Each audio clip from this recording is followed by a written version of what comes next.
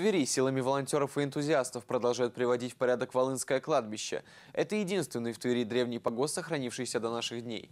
Его история ведется аж с 18 века. И вот недавно во время очередных работ по облагораживанию некрополя здесь обнаружили могилу, датированную 1782 годом.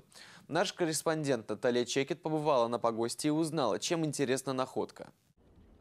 Обнаруженная могильная плита представляет собой необработанный серый гранит. На памятнике надпись «Путевому 1782 года» и выбит Голговский крест. В переводе с древнерусского «путевой» означает «бродяга». На памятниках того времени обычно писали, сколько жития было ему, а, когда родился, во сколько умер. А здесь ничего нет, только лишь год захоронения, год смерти, 1782. Как рассказывает Владимир Пиманов, который на протяжении нескольких лет занимается восстановлением кладбища, чаще всего памятники обнаруживаются ранней весной или поздней осенью. В это время мало травы, и найти захоронение становится проще. Историческая находка показывает, что 250 лет назад к людям относились уважительно, несмотря на их происхождение. И даже бродяги установили достойный памятник. Видно, что писали как бы как в торопях. Он, в общем-то, сделан такое ощущение, кто-то вот из остатков, ну, пожалели человека, поставили ему памятник. По предположениям, могильную плиту могли сделать на церковные средства или общественные организации тех времен. Волынское кладбище в Твери появилось после запрета в 1772 году о проведении захоронения на территории храмов и церквей. Сделали это градоначальники из санитарных соображений. Тогда свирепствовали чума и холера. И возможно, что найденная могила одна из первых на погосте.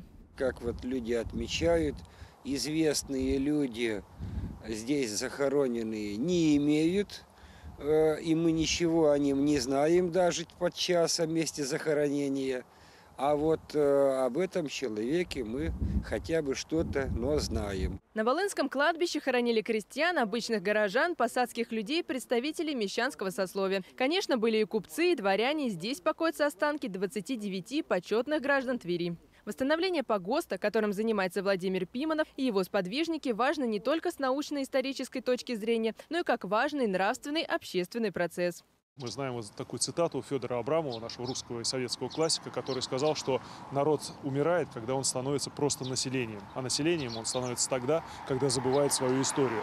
Поэтому, конечно, мы должны максимально внимательно относиться вот к таким объектам. Южная часть Волынского захоронения уже давно стала местом проведения торжественных мероприятий, посвященных памяти павших в годы Великой Отечественной войны защитников Отечества. А остальная часть должна приобрести вид мемориала ряд депутатов из законодательного собрания, и мы, депутаты по Заволжью, планируем э, со следующего года все-таки поднять вопрос. Я знаю, что и областная власть к этому проявила э, заинтересованность в этом вопросе, об, об установке хотя бы ограждения какого-то. Это достаточно дорогостоящая процедура, это несколько миллионов рублей, чтобы такой участок огородить. Ну вот будем ходатайствовать о том, чтобы хотя бы территория вот этого мемориала, это уже мы так назовем, да, э, была ограждена, было ну, достойно выполнено ограждение, чтобы это со временем превращалось в такой некий, ну, как бы музей, наверное, даже больше под открытым небом.